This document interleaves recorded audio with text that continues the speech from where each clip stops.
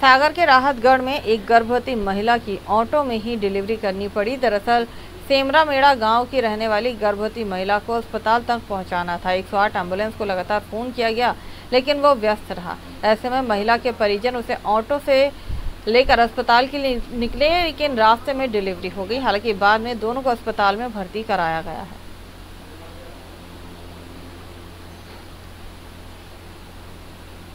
निकल ही नहीं पा रहे थे। एक सौ आठ को फ़ोन लगाया था लगा नहीं है तो फिर हमने कि अब निकल चलेंगे अपन।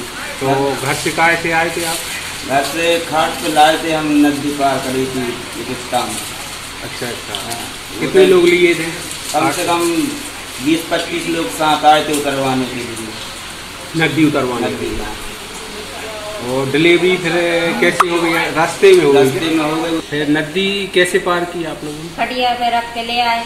बहुत सारे लोग पकड़े थे। अच्छा अच्छा। और हम लोग को भी दस दस लोग पकड़े थे बीच में हम अच्छा अच्छा। हाँ। फिर नदी इसके बाद में ऑटो से आया। हाँ। नदी इस पार रखी थी। हाँ, हाँ। ए, आटो इस पार रखी थी नदी के तो फिर ऑटो में रखे आप किस वक्त पे हैं? आठ तारीख से